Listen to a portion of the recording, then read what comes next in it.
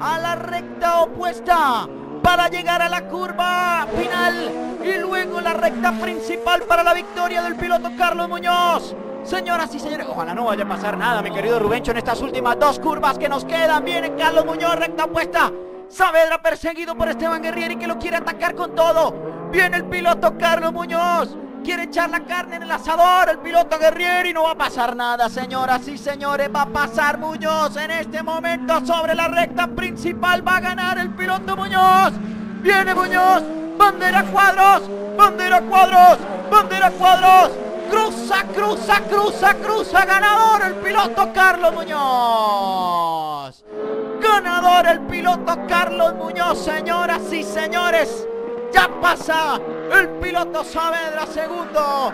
Cruza también el piloto Esteban Guerrieri tercero. Se completa el podium de la carrera en Edmonton. Lo ha ganado el bogotano Carlos Muñoz.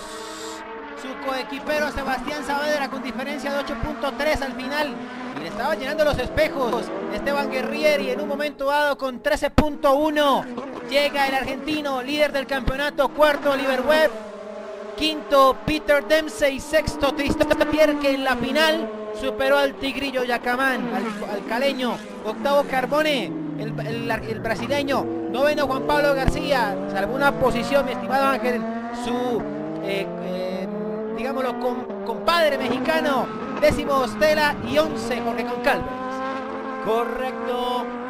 Una alegría para el pueblo colombiano en este momento haciendo el 1-2. Sus dos pilotos de la Indy Light, el piloto Carlos Muñoz y Sebastián Saavedra. Ha sido una alegría, señoras y señores, llevarles a ustedes estas emociones de la competencia de la Indy Light en el montón. Mi querido Ángel, una pausa y ya estaremos regresando con el conteo de la puntuación para el campeonato y ya la parte final de esta transmisión.